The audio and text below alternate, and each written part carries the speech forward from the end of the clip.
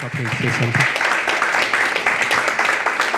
KCB CEO, Dr. Martin Oduor, interacted with Kenyans in London to showcase the profile of the bank. The aim was to reach out to old and new customers as part of their Meet the Diaspora Investors Roadshow.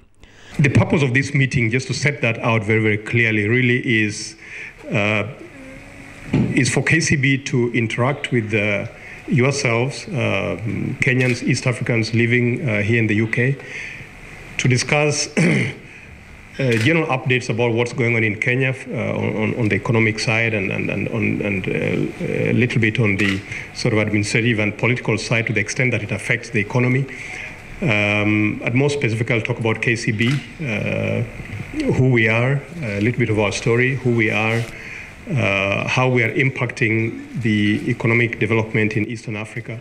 KCB um, is targeting to open over 1 million accounts this year.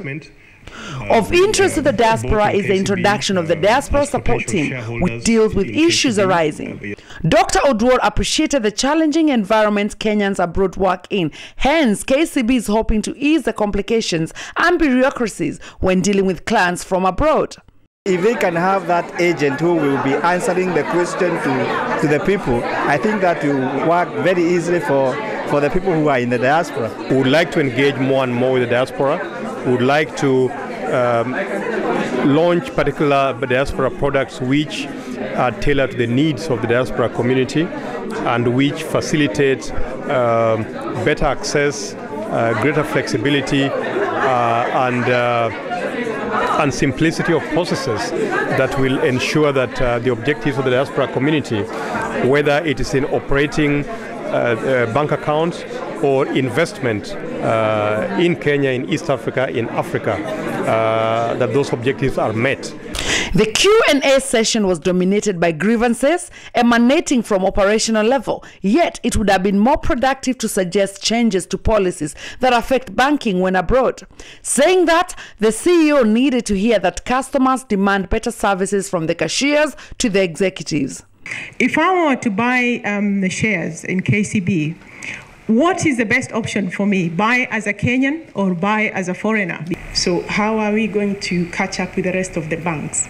In Kenya, which are moving very fast. And there are those who are waiting for these news to go out there so they can see what is KCB bringing to us in the diaspora. So what is your communication plan? Why don't KCB now, in this new era and age, even have a terminal where you can be transacting and asking questions, even saying some few things here and where you can connect to Nairobi.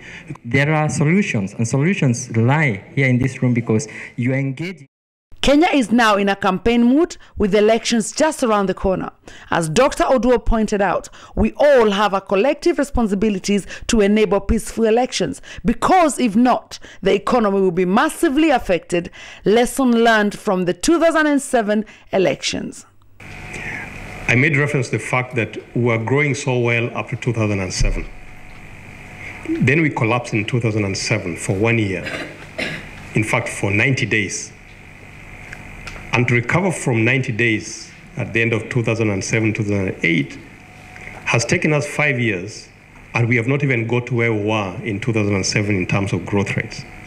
I think if we had managed that election properly, the 7% would be 10% today, at least. I just think that there's a role that the diaspora can play in terms of uh, cooling down the tempers amongst our politicians because you know them. They are related to you, uh, they visit London, they talk to you, uh, etc. Kenya Commercial Bank will be back within the year, hopefully with tailored products and plans to serve diaspora better.